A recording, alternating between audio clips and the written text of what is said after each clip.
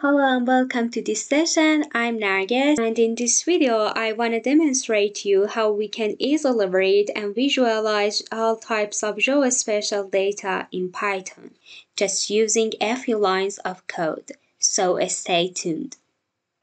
Let's begin with raster data. You have two options, GDAL or rasterio. Option 1, GDAL. First of all, you need to import GDAL array from OSGeo import GDAL array. And also you need import some of the basic libraries such as NumPy and Matplotlib. After importing required libraries, you just need to use gdalarray.load file to read your image. And if your image isn't grayscale, you need to move axis of your image to change the shape of your image to width, height, and band. And for grayscale image, you can just read it with gdalarray.load file.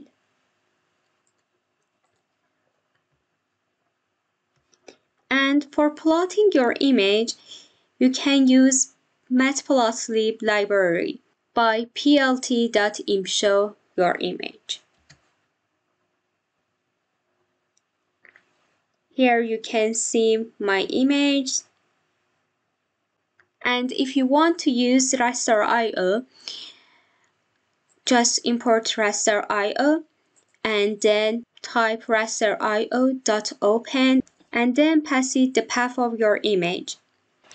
As you can see here, the next step is reading individual bands. And if you have a grayscale image, you just need to reading the first band.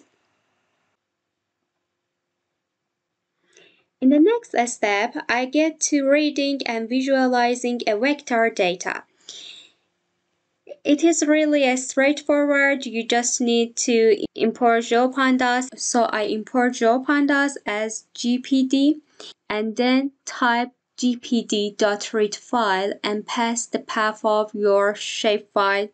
Then with dot .plot you can visualize the vector data.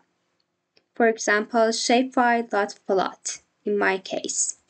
Finally, I move on point cloud data you should import two important library, namely Open3D and laspy.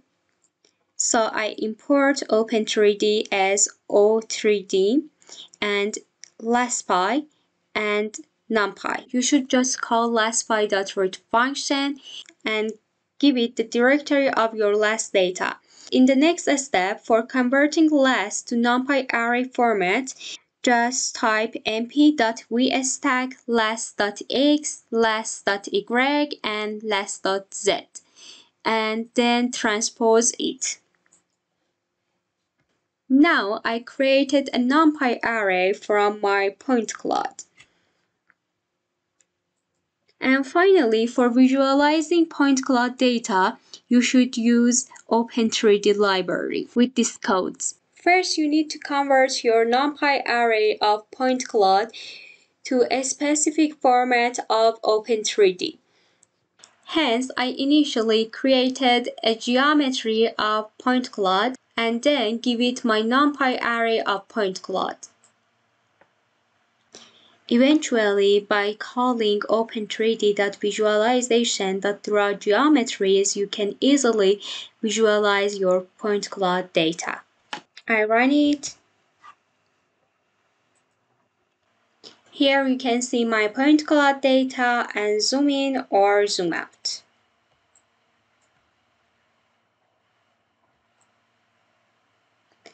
That was all and see you in the next video. Please don't forget to share and subscribe if you enjoyed this.